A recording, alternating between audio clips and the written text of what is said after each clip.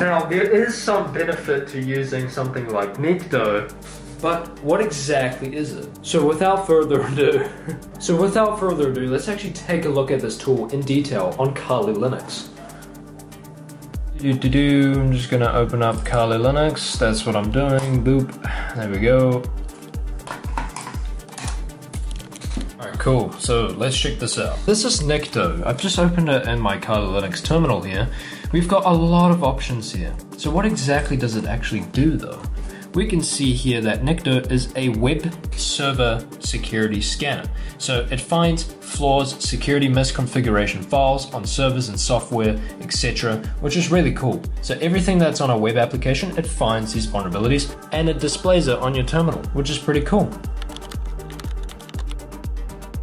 Just gonna casually open up my Metasploitable 2 machine. Click.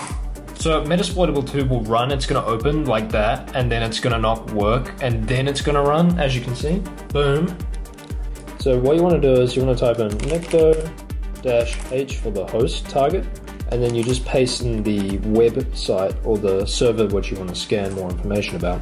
You can specify the port for any additional information, but there's other options which you can take a look at. So let's just see if this is going to find some sort of outdated version of software or vulnerability or whatever it is. It says uh, wp-config.php was found, and by the way, we can also output this file, this whole report file, instead of on our terminal into a actual text file. So let's go ahead and do that. We're gonna do dash O to output. We just say reports. You can do reports.txt if you like.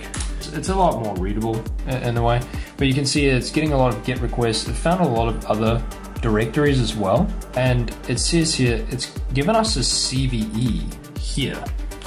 So, and you can see here that this reveals potential sensitive information. So it's already found these vulnerabilities. And that's quite cool. What does that mean? It means Nikto just found these vulnerabilities. It sent a lot of GET requests, a lot of HTTP requests to discover not only files and other hidden directories, but vulnerabilities like directory transversal or any misconfigured version of PHP on the web application or server. So that's pretty interesting. But like I said, I don't recommend this tool because it is quite noisy and it's kind of a little bit outdated. I don't know if this tool has been updated, but it's still used. But I'm just saying that's a lot of requests. So that's pretty cool. Would you use Nikto?